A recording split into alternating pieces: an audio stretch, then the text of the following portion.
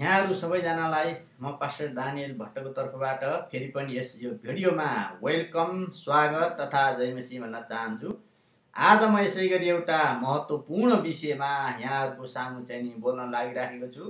अथवा क्रिस्चियन शब्दार्थ नामक पुस्तकबाट एउटा शब्दको अर्थलाई लिएर एउटा विषयवस्तुलाई लिएर यहाँहरू सम सामुमा आएको छु। अनि मलाई आशा छ विश्वास छ। आजको यो विषयवस्तुले तपाईँहरूलाई प्रशस्त मात्रामा आशिष पुर्याउनेछ।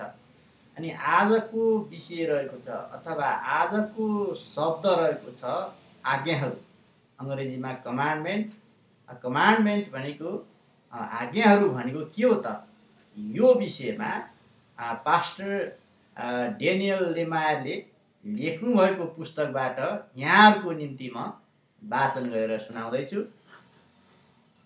यहाँ यसरी लेखिएको छ कसरी ठिकसँग जिउने भन्ने बारेमा परमेश्वरले दिनुभएको निर्देशन नै आज्ञाहरू हुन्। आज्ञाहरू भन्नाले क्रिस्चियनहरू प्राय दस आज्ञाको अर्थ लगाउँछन्। परमेश्वरले मुसा र यहुदीहरूलाई दिनुभएको यो एउटा प्राचीन कानुनी नियम हो।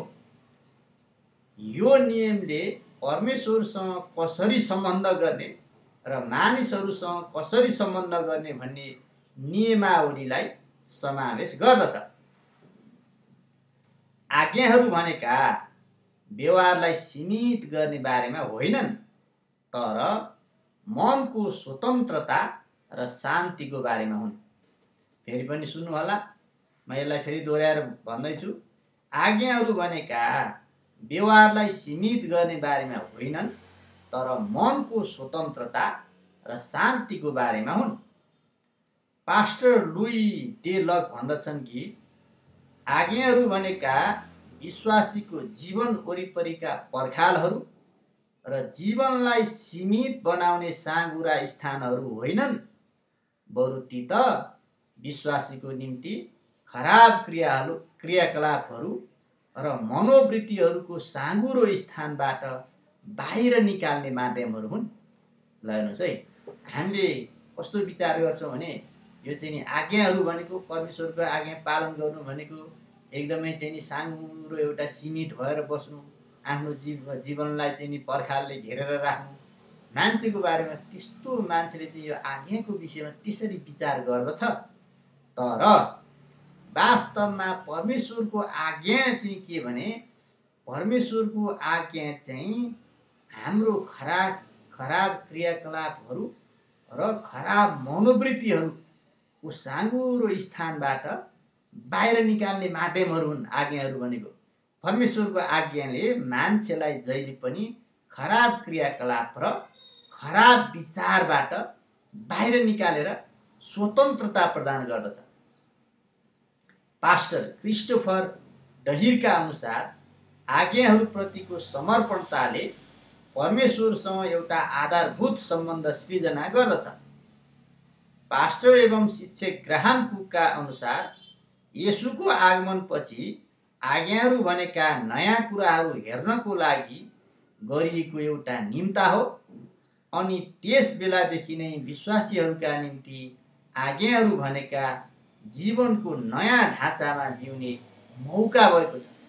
अथवा परमेश्वरको आज्ञा भनेको के हो भने तपाईँको र मेरो निम्ति जीवनको नयाँ ढाँचामा जिउने एउटा मौका हो।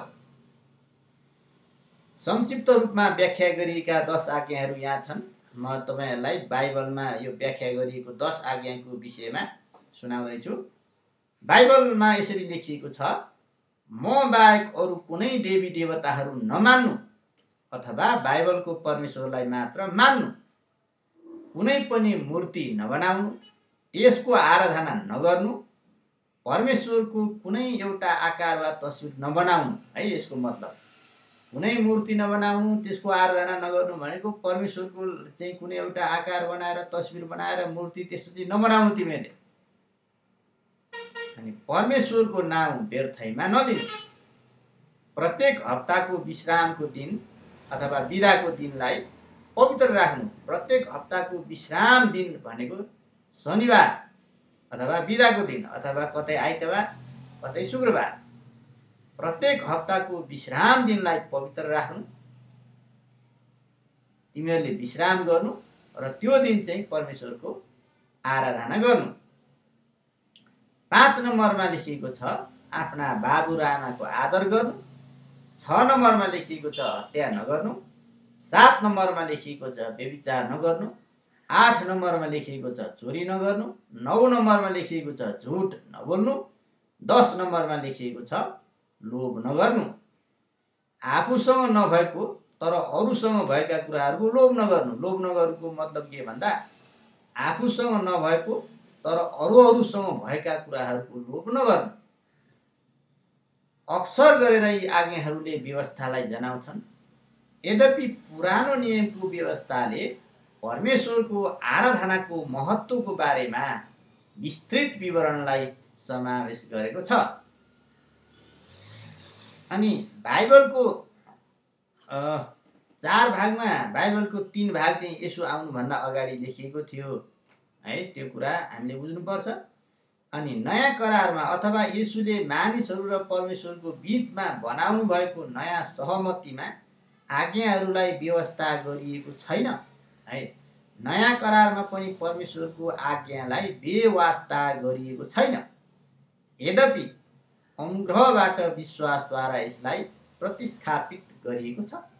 अब अहिले चाहिँ हामीले के गर्छौँ त? अनुग्रहबाट विश्वासद्वारा परमेश्वरको आज्ञा पालन गर्छौँ। ख्रिस्टियनहरूले यसो भनेको तपाईँ सुन्न सक्नुहुन्छ। तपाईँ व्यवस्थाको अधीनमा हुनुहुन्न तर अनुग्रहको अधीनमा हुनुहुन्छ। ख्रिस्टियनहरू बिचको यो एउटा भाषा हो। ख्रिस्टियनहरूले प्रयोग गर्ने यो एउटा वाक्य हो।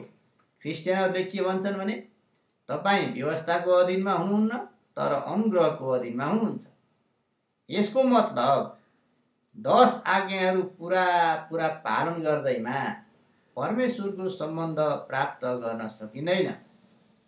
दस आज्ञाहरू अथवा अरू कुनै आज्ञाहरू पालन गरेर होइन बरु परमेश्वरको प्रेमबाट मात्रै उहाँको उपस्थितिमा जान वा स्वर्गमा प्रवेश गर्न सकिन्छ। आज्ञाहरू पालन गरेर होइन बरु जसले यसोमा विश्वास गर्छ त्यही स्वर्गमा प्रवेश गर्न सक्छ। अब चाहिँ आज्ञाहरू पालन गरियो पुरानो नियमको आलन आज्ञा पालन गरियो तर यसुमा विश्वास गरेन भने त्यो स्वर्गमा प्रवेश गर्न सक्दैन। तर जसले यसु ख्रिस्टमा विश्वास गर्छ त्यो चाहिँ स्वर्गमा प्रवेश गर्दछ। यसको मतलब ख्रिस्टियनहरूले उहाँको आज्ञाहरूको व्यवस्था गरौँ भन्ने कदापि होइन। परमेश्वरले जस्तो व्यवहार गरे फेरि फेरि सुन्नु होला। मानिसहरूले जस्तो व्यवहार गरेको परमेश्वर चाहनुहुन्छ उहाँको त्यो चाहना कहिल्यै परिवर्तन हुँदैन।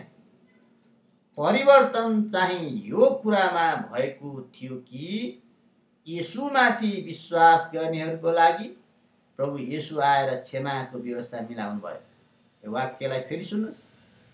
परिवर्तन चाहिँ यो कुरामा भएको थियो कि परमेश्वरमाथि विश्वास गर्नेहरूको लागि यसु आएर क्षमाको व्यवस्था मिलाउनु भयो है? यसुले व्यवस्थालाई दुईवटा आज्ञाहरूमा सरलीकरण गर्नुभयो। निश्चित रूपमा यी आज्ञाहरूले दस आज्ञा र अरू सम्पूर्ण आज्ञाहरूको चुरोलाई समातेका छन्। यी दुई आज्ञाहरू हुन् तैँले परमप्रभु आफ्ना परमेश्वरलाई आफ्नो सारा हृदयले आफ्नो सारा प्राणले र आफ्नो सारा समझले प्रेम गर्नु। दुई नम्बरमा छ तैँले आफ्नो छिमेकीलाई आफूलाई जस्तै प्रेम गर। सम्पूर्ण बाइबललाई अथवा परमेश्वरको आज्ञालाई होइन यसु प्रभुले एकदमै सरलीकरण गरिदिनु भयो। परमेश्वरलाई पहिलो प्रेम गर्ने र आफ्नो छिमेकीलाई आफूलाई जस्तै प्रेम गर्ने। मत्ती बाइसको छत्तिसदेखि चालिसमा यो पद रहेको छ। अनि फेरि बाइबलले भन्दछ जो मान जोहरू परमेश्वरका आत्माद्वारा डोराइएका हुन्छन् उनीहरूले नै व्यवस्था पालन गर्दछन्। रोमी आठको चार र पाँचमा यो पद रहेको छ। अनि ख्रिस्टियनहरू भनेका आत्मा अनुसार हिँड्नेहरू हुन् अथवा आत्मानुसार हिँड्नेहरू नै क्रिस्चियनहरू हुन् यसुमा विश्वास गर्नेहरूले मात्र आत्मानुसार हिँडेर उहाँको आज्ञा पालन गर्न सक्छन् परमेश्वरको आज्ञा पालन गर्न सक्छन्। उनीहरूको हृदयमा परमेश्वरका आत्मा हुनुहुन्छ। अथवा क्रिस्चियनहरूको हृदयमा परमेश्वरको आत्मा हुनुहुन्छ। अनि आत्माले उनीहरूलाई परमेश्वरको इच्छाअनुसार डोर्याउनुहुन्छ उहाँले तिनीहरूलाई उनीहरूका इच्छाअनुसार होइन बरु व्यवस्थासँग एकीकृत गराएर डोर्याउनुहुन्छ आज्ञाहरूको एउटा मापदण्ड छ।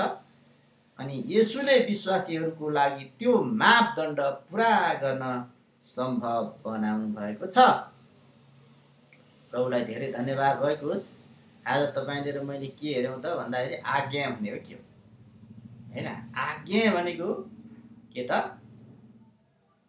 विश्वासीहरूलाई होइन? विश्वासीहरूको खराब क्रियाकलाप र खराब मनोवृत्तिहरूको साँगुरो स्थानबाट बाहिर निकाल्ने माध्यम हो आज्ञा भनेको। है? आज्ञा भनेको आज्ञा भनेको विश्वासीको जीवन वरिपरिका पर्खालहरू र जीवनलाई सीमित बनाउने साँगुरा स्थानहरू होइनन्। है? ती त तपाईँलाई चाहिँ स्वतन्त्र गराउने स्थानहरू हुन्। परमेश्वरको आज्ञाले कसैलाई पनि बन्धनमा पार्दैन तर परमेश्वरको आज्ञाले स्वतन्त्रता प्रदान गर्दछ। छुटकारा प्रदान गर्दछ। प्रभुलाई धेरै धन्यवाद भएको होस् यहाँलाई प्रभुले प्रशस्त मात्रामा आशिष दिनुभएको होस्। हस्त जय मसिंह।